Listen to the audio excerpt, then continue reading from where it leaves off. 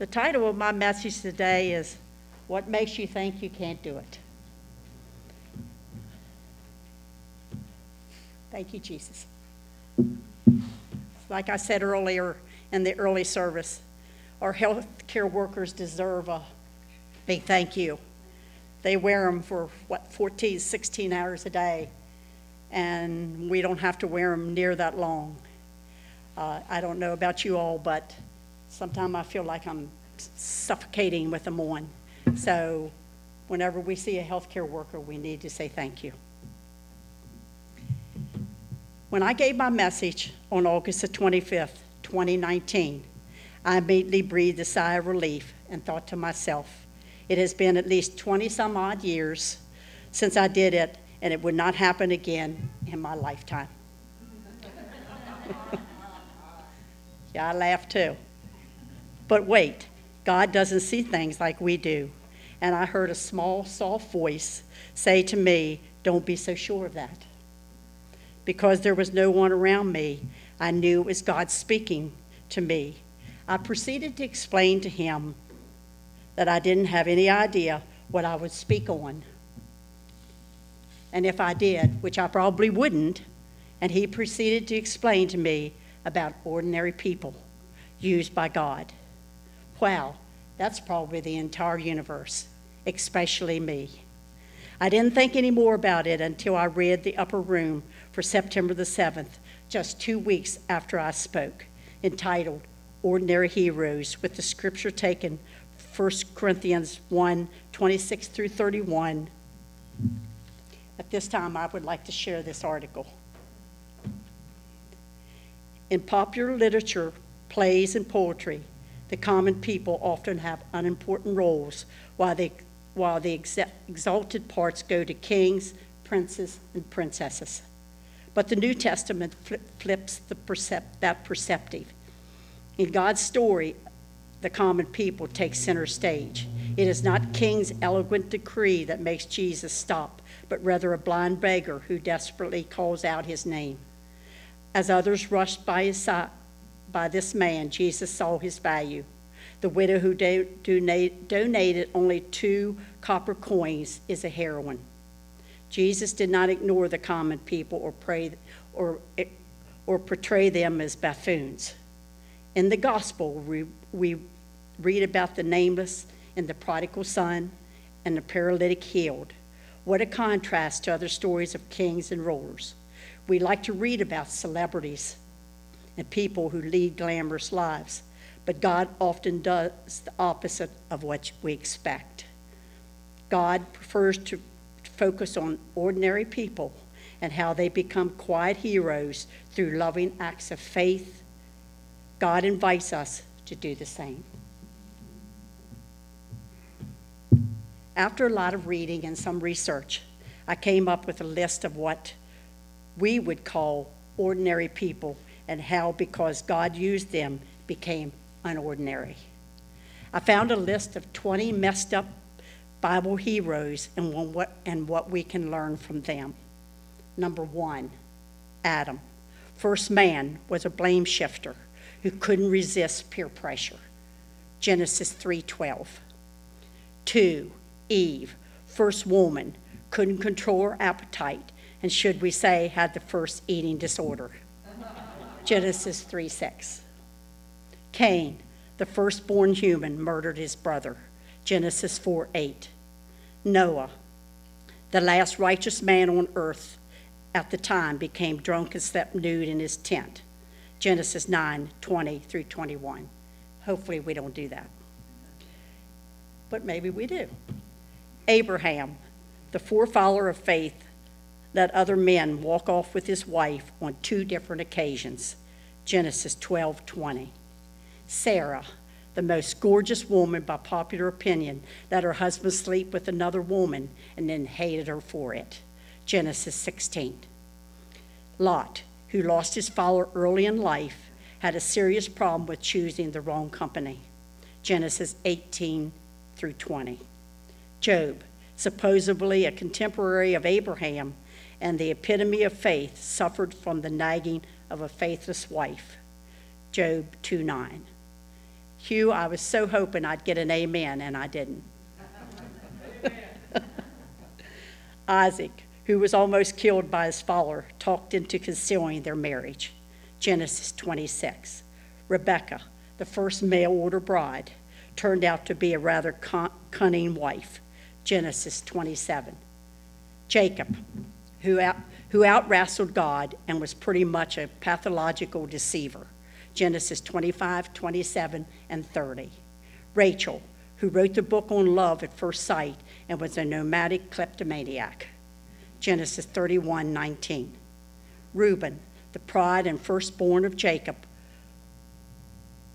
was very odd, who slept with his father's concubine. Genesis 35, 21. Moses, the humblest man on the face of the earth, Numbers 12, 13, had a very serious problem with his temper. Exodus 2, 32, verse 19, and Numbers 20, verse 11.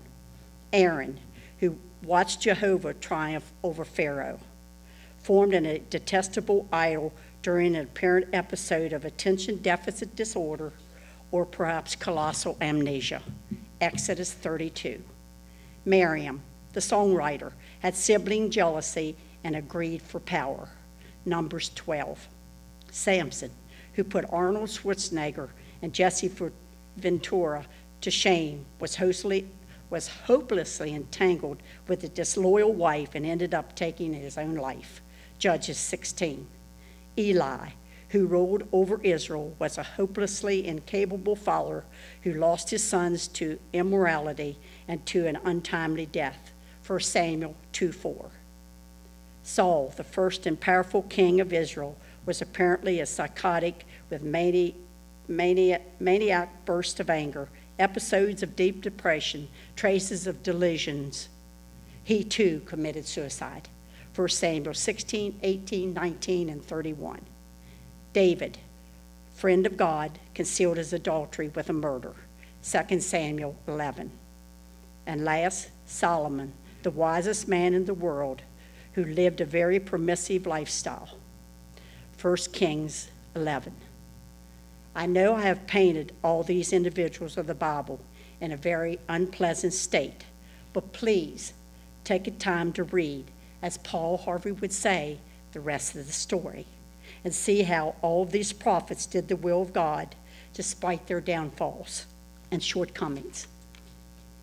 Having weaknesses doesn't mean we don't have what it takes. It just means we are not in control.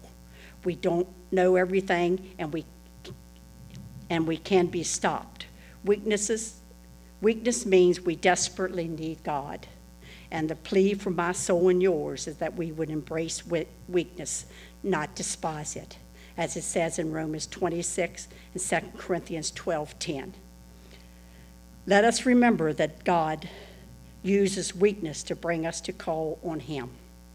Weakness does not always imply failing to have faith, because look at Jesus in the garden before he was crucified. He fell to the ground in great distress and cried out to his Father. I found this little story and I would like to share it with you. A father said to his son, What's wrong, son?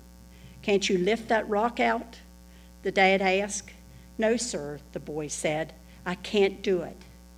Have you used all the strength that's available to you? The father asked. Yes, sir, the boy said. No, you haven't, the father said. You didn't ask me to help you. Faith is of the heart invisible to men. It is that element of trust that is invisible. Your obedience is, is proven by your outward conduct. The principle of Jesus' life was his obeying his Father, both on earth and in heaven. Our attitude should be the same. Ephesians 5:16. I know at this point of my message, you think I am being hard on the ordinary people in the Bible that were being used by God. However, if we would stop and think about the people that I have mentioned, you would realize we are no different than they were. Yes, the circumstances and the excuses that they use may be different, but if we were to really examine our reasons for not obeying God, they could be more alike than we realize. It may be, I'm not a good speaker. I'm afraid. I don't have time. I don't have enough money. People might make fun of me.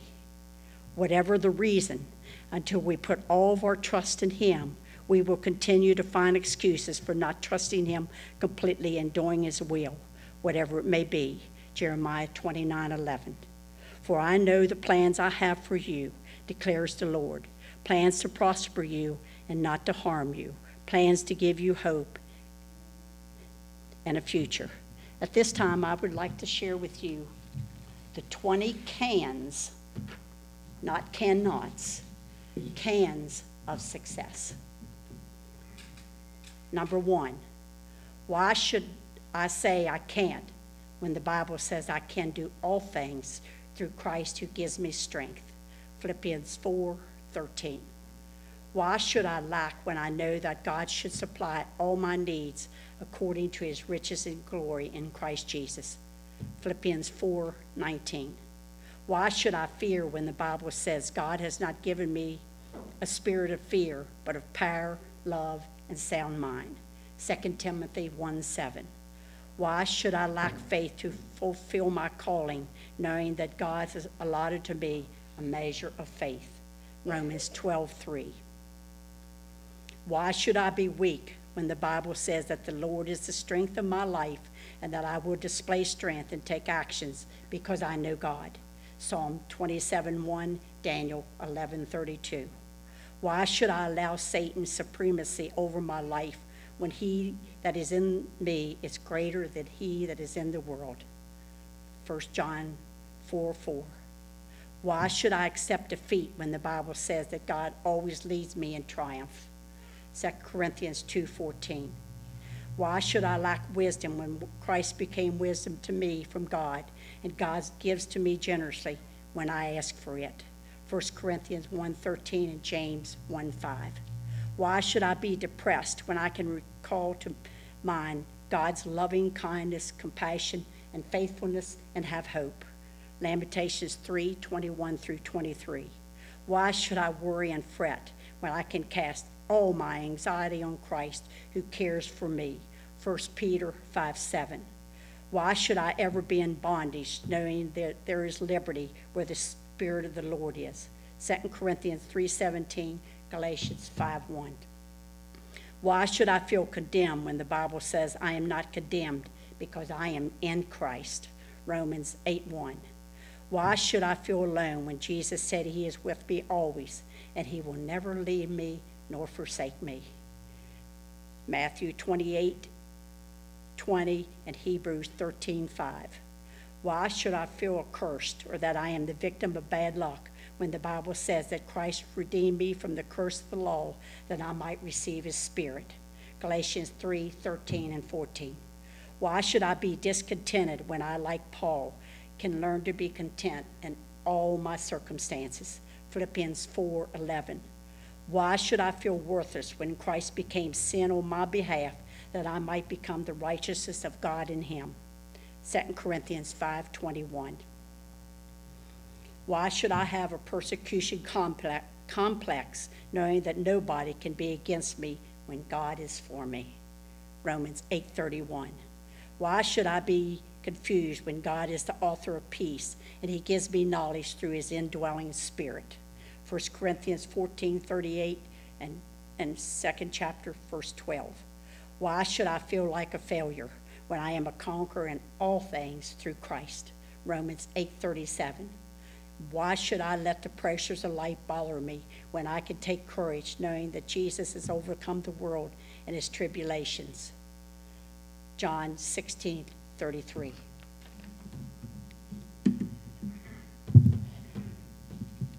As, as you all and the whole world knows, we're in the midst of COVID 19. But I had something happen to me this past week that kind of brought COVID 19 into perspective in the conversation that I had with an individual. I won't mention any names, that's not important. The conversation went something like this I think it's wonderful that you can get up and speak like that. I could never do it. When I got done talking to the individual, I left, went about my business, and I went to Food Lion, and I come back down, and I, I said, but I felt the Lord was leading me. I needed to go back to that individual. So back to that individual I went. Uh, to say the least, I think they thought I was probably a little bit nuts why I did this, but I felt God was leading me that I need to do that. When the individual said, I could never speak like that, my response was, I can't do what you can do either. I can't play music. That's not my gift. I can't build stuff. That's not my gift. I'm really good at tearing up, but I'm not good at fixing. But God has given every last one of us a gift. As the upper room said, it might be small.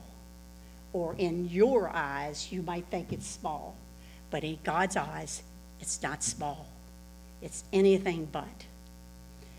And the reason why I mentioned COVID 19, it seems like we're kind of confined, especially our elderly, in their homes.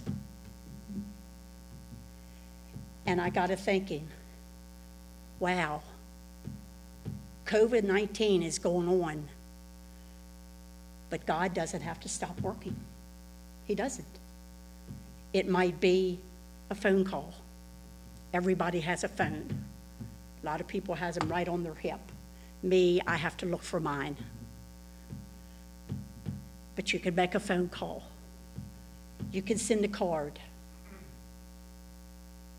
You can be in a supermarket. You could be at your work. You could be wherever you are, and you can smile. Granted, you got a mask on. But I think sometimes the expression on your face will still come through, even with the mask on. So I guess what I'm trying to say is I hope nobody ever thinks that their gift is irrelevant because it's not. God can take that teeny tiny little gift that you think you have and He can, my expression, He could blow it clear out of proportion. He can do with that whatever He wants to do because we serve an almighty God and there's nothing that he can't do. If we let him work through us, there is nothing we can't do. So, my thought to you is don't ever feel inferior because God doesn't make inferiority, He doesn't make it. He takes what He's given you and He uses it to the greatest that He can use it. We must never forget that God is more interested in your availability than in your ability. Can I repeat that? God is not interested in your availability, but your ability. If we use, if we were to depend strictly on our ability, we would fail miserably, but we would remember that following God, there is nothing we can't do. And if God calls you or me to do something, no matter how hard we may think it is, He has promised, I will never leave you or forsake you. And I will equip you with whatever you need, because my word will never return void, and He will accomplish everything He wants to accomplish. Amen.